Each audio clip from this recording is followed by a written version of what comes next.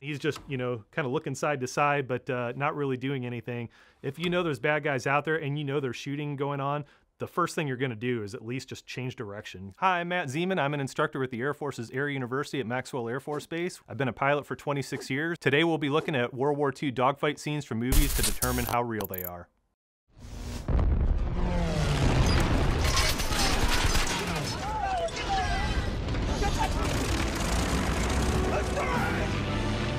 We actually did get a couple airplanes airborne, and uh, I mean, those are all amazing stories. The guys that are loosely depicted in this scene, Welch and Taylor, they were out partying the night before, uh, all night poker game, and they had just gone to bed like about an hour beforehand. They heard the bombs going off. They were still wearing tuxedo pants. They jumped in a car going about 100 miles an hour, getting shot at along the way. True story.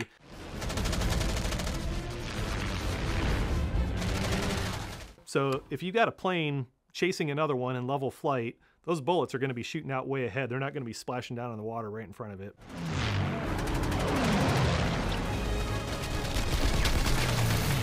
Competition aerobatic planes and you know modern fighters can kind of do a knife edge pass like that, but uh, you know a P-40 couldn't do that. If you're on its side flying through a basically a canyon of, of buildings like that, uh, you're you're you're going to end up flying into the buildings. The Japanese did fly extremely low, so uh, I guess there's some realism there. There were multiple accounts of guys seeing planes that were either scraping the belly fuel tank or, uh, uh, you know, scraping the, the tips of their propellers. Welch and Taylor and the other guys that actually did get in dogfights were up at higher altitudes, not flying at treetop level. Danny, I still got three on my tank. Come on, come on now! So mid-airs do happen in air combat when you got a lot of planes flying around the sky, but to have that kind of coordination, you know, do a head-on pass and and you know cut right at the last second so that the the zeros would fly into each other is uh, quite a bit of fiction.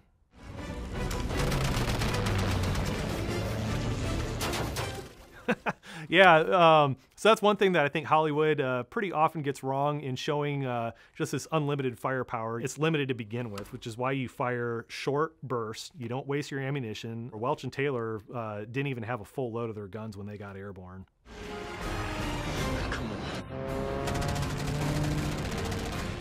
He looks like a kid in an arcade game uh, with both hands on the stick, you know, going left and right. You don't do that. Uh, your left hand's on the throttle. The only time you really use both hands on the stick is, you know, if you're pulling back in kind of a break turn. I give it about a four.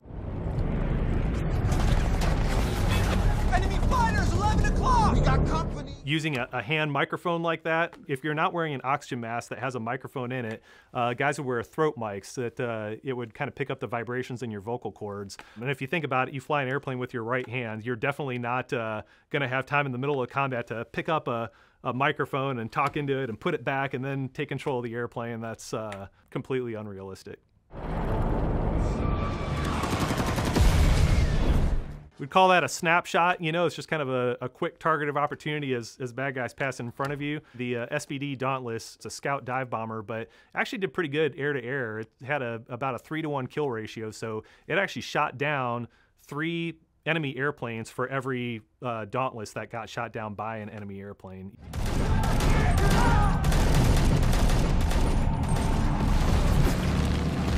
So there's two kinds of enemy fire against aircraft. There's barrage fire, which are, flak, uh, which are shells that explode at kind of a predetermined altitude. And then there's kind of the aimed fire, you know, typical machine gun. The flak is those black bursts that are happening, and those bursts are following all the way down the dive. That's not terribly realistic. You know, that would be kind of blanketing a certain altitude. And then you would have the machine gun fire that would be, you know, tracking the guy through the dive. He's releasing later than they, they really would. So you'd roll into that near vertical dive and, and uh, typically release the bomb at about 2,000 feet um, to recover around 500 feet.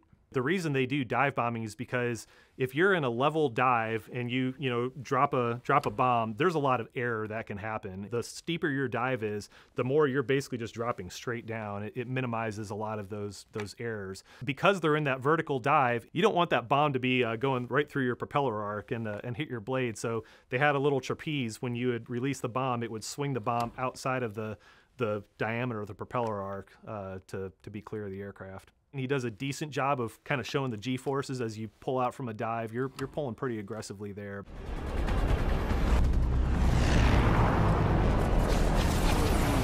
trying to you know hide in the clouds that is a, a fairly valid tactic. You can't really see in the cloud, so uh, disappear into the cloud, maybe fly around a little bit, pop out a different side and hope that the bad guy doesn't find you. And same for the zero to just be right at that point in time as he comes out of the cloud to be right in a shooting position. A little unrealistic.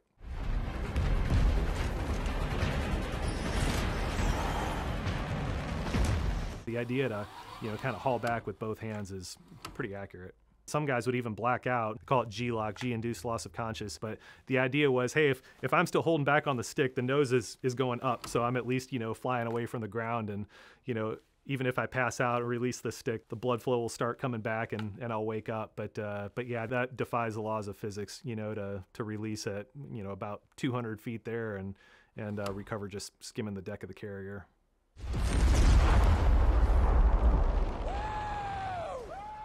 That guy out in the water, that's uh, Ensign George Gay. He was the only guy to survive from his squadron. The entire squadron got shot down, but he watched the entire Battle of Midway bobbing in the water there, uh, and was eventually rescued. But uh, quite a quite a witness to history.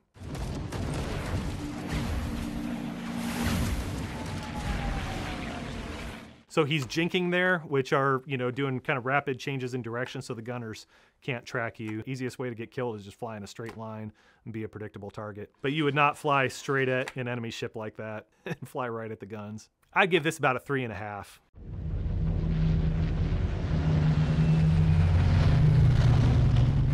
very accurate. The the Brits operated in a what they called a three ship Vic, uh, at least early in the war, and the idea was the two guys on the wings just follow the leader. And uh, you know he focuses on the target. Once they engage then everybody you know can start firing. For this time period that's extremely accurate.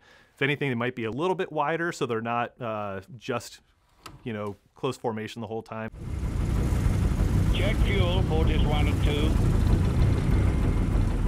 very accurate for lead to ask for a fuel check the wingmen uh, burn more gas than lead does so lead's making sure that they've got enough gas and the Spitfire didn't hold a lot, uh, just a little bit over an hour of flight time. So to take off from an airfield in in uh, southeast England and get over to the French coast, uh, you didn't have a whole lot of playtime before you'd have to have to come back. So very accurate consideration there.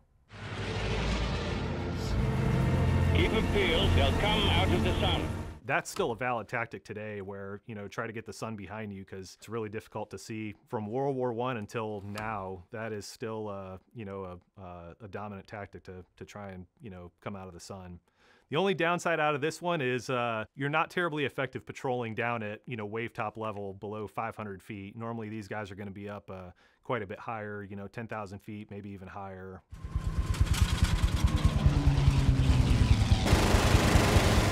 Spitfire doesn't carry a whole lot of ammo. You're pretty limited. So you want to do short bursts of about two seconds or so. So he's doing a good job there. He's missing the target though because he's not leading it. To hit a point in space, you've got to shoot out ahead of it so that, you know, the bullets and the target meet at the same point in time. Clip. Bad guys don't always just explode into a ball of flames. And it's pretty common, you know, if you damage the engine or the flight controls, it'll just kind of be a, a gradual descent as opposed to, you know, the airplane just exploding or a wing coming off.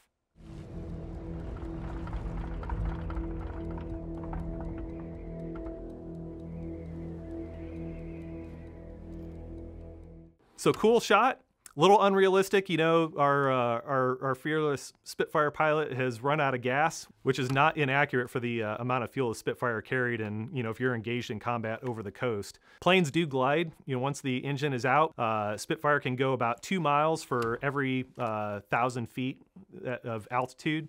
And I'd say he's at about a thousand feet, so he can maybe go two miles. So at that altitude, he's got probably less than a minute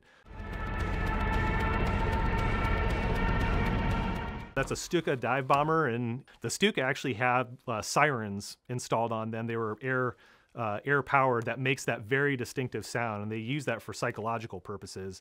But it's funny how you know any movie will show just about any kind of airplane that's in a dive will be making that screaming sound.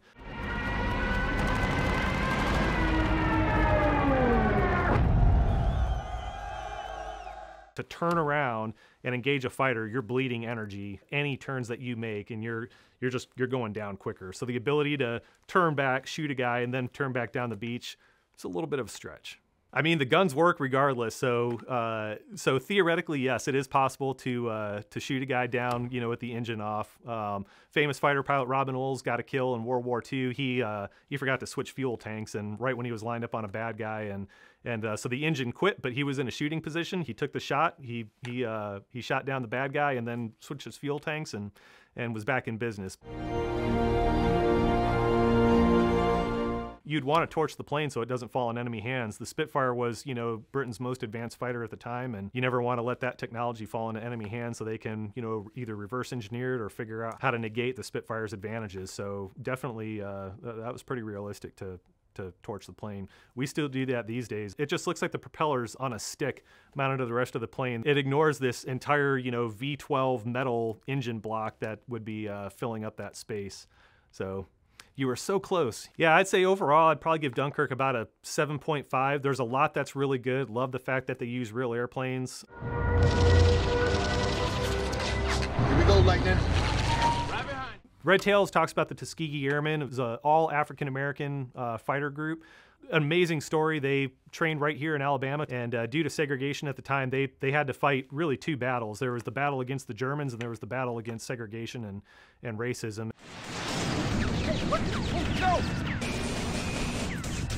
So the fact that the guy's flying straight and level, he knows there's fighters out there, and he's just, you know, kind of looking side to side, but uh, not really doing anything. You're just a sitting duck. The easiest way to be a target is flying a, a straight line. So if you know there's bad guys out there and you know there's shooting going on, the first thing you're going to do is at least just change direction so you're not a predictable target. Nine o'clock low. Nine o'clock low. Planes don't do kind of little hockey stops like that, uh, rolling in behind somebody. These jets ain't nothing. The Mustangs are keeping up with the the jets, which is completely unrealistic. Need more speed. Let's get some altitude.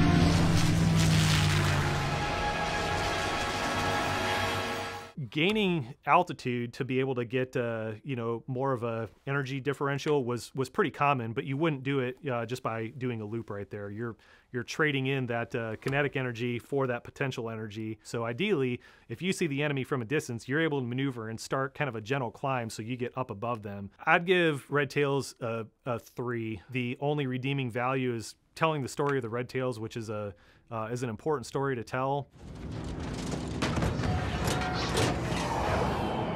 Bombardier to pilot your ship. Roger.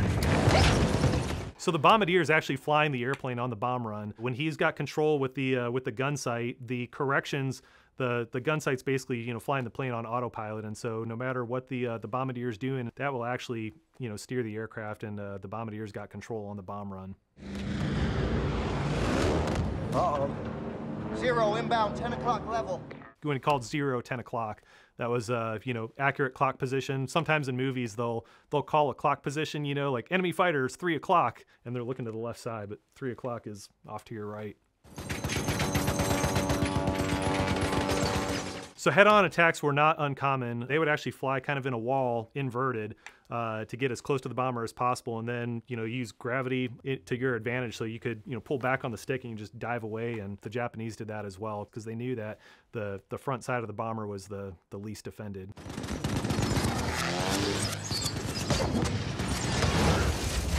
So there you see kind of the catastrophic hit. Sometimes it's it's just a matter of uh, you know hitting a, a fuel tank on the wing or hitting the engine, or maybe even just killing the pilot, uh, where you don't necessarily get that uh, pretty big fireball. So overall, this is a, a pretty accurate clip. I'd say they do a pretty good job with this. I'd probably give it a, a nine.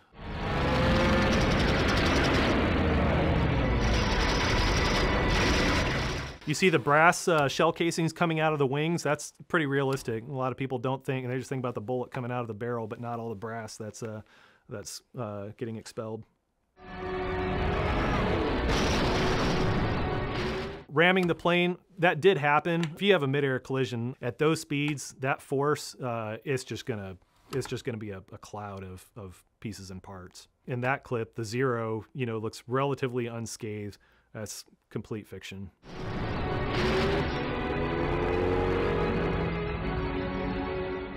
if you cut off the tail of the plane, the plane's not going to spin out of control. It's just basically going to fall straight down because the tail gives it its stability in pitch.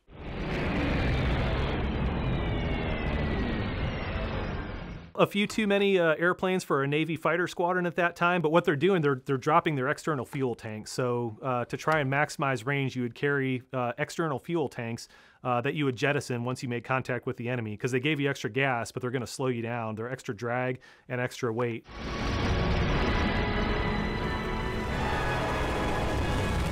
Pretty unrealistic attack run. It's not a dive bomber. You know, typically the kamikazes were coming in at, you know, a lower angle. For him to pitch up like that, uh, call it a pop up attack, at the top of the apex, you know, when you uh, pitch over and, and, dive back down, you're pretty slow right there at the at the peak when you're pitching over and, and extremely vulnerable because you're you're going so slow. Usually for the kamikaze guys, they're going to come in low and they're going to stay fairly low, or they're going to start off higher and just have all the extra energy to do that dive uh, to begin with, but not do a kind of a pop up and diving attack. They've got, you know, a couple very small attention to detail of the brass shell casings coming out, but everything else just uh, pretty terrible. Uh, I give it about a 1.5.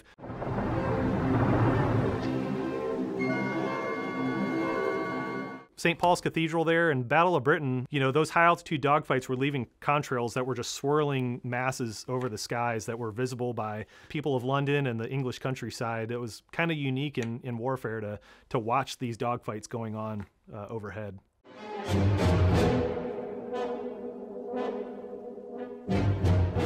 you know, if take a hit in the engine, oil starts spewing out, covering the, the windscreen. That is, uh, that's pretty real. You don't have windshield wipers, so you're just kind of stuck with a black screen in front of you.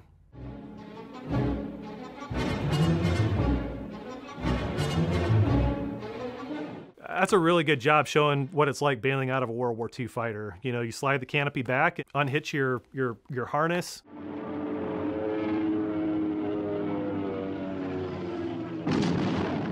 that guy's got a line twist. You can't plan for that. Uh, but that was a, a, minor malfunction, and he's he's uh, kind of bicycle kicking his legs to try and get a kind of a gyroscopic effect uh, to unwind the the parachute riser. So that's that's extremely realistic. One of the greatest things about this movie was how many airplanes they used. The fact that they used real airplanes, uh, it was one of the greatest parts about this movie. They joked that they were one of the world's largest air forces when they did this. This is one of the best ones out there. I give this a solid nine. Go get little friends! That's accurate. The bomber guys called the fighters little friends. Although the fact that they have P-51s, P-51s weren't in combat in uh, at this point in 1943. They came along a lot later.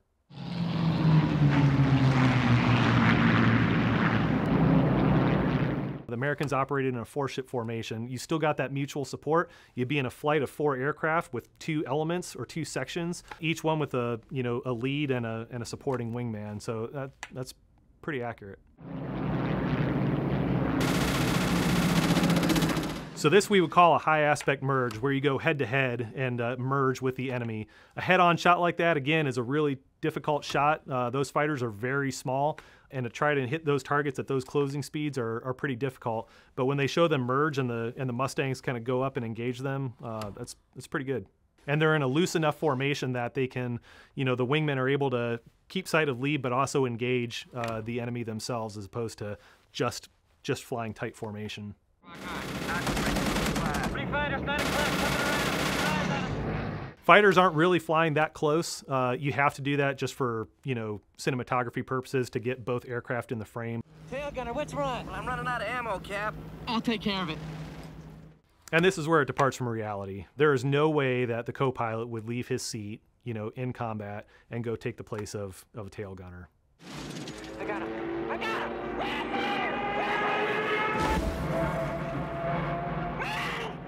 But the fact that you can't control when a when a plane you know goes out of control, that it might you know fly into a, another aircraft or a bomber like that, um, stuff like that did happen. So again, when you have that many airplanes in uh, in that uh, you know relatively small piece of sky, stuff happens. I'd probably give it uh, about a seven and a half.